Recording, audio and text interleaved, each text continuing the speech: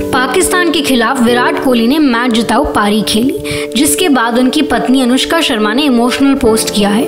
Match के बाद अनुष्का शर्मा ने टीवी पर मैच की कुछ तस्वीरों को साझा किया, जिसमें विराट कोहली शॉट लगाते और अश्विनी रोहित शर्मा को गले लगाते देखे जा सकते हैं। अनुष्का ने अपने पोस्ट में लिखा, सुंदर, बेहद सुंदर। आज की रात तुमने कई लोगों की ज़िंदगी में खुशियाँ भर दी हैं, और वह दिवाली की शाम को तुम एक बेहतरीन इंसान हो मेरे प्यारे।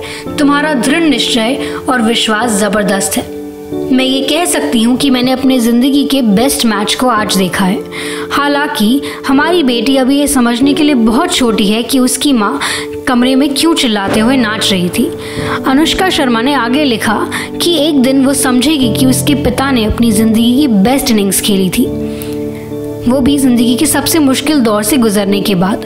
अनुष्का ने आगे कहा कि ये समय दर्द भरा था, लेकिन इससे वो पहले से ज़्यादा ताकतवर और समझदार बनकर बाहर आए हैं। मुझे तुम पर गर्व है। तुम्हारी ताकत हर तरफ़ फैलने वाली है और तुम मेरे प्यारे असीम हो। हर मुश्किल और खुशी में मैं तुमसे हमेशा प्यार करूँगी।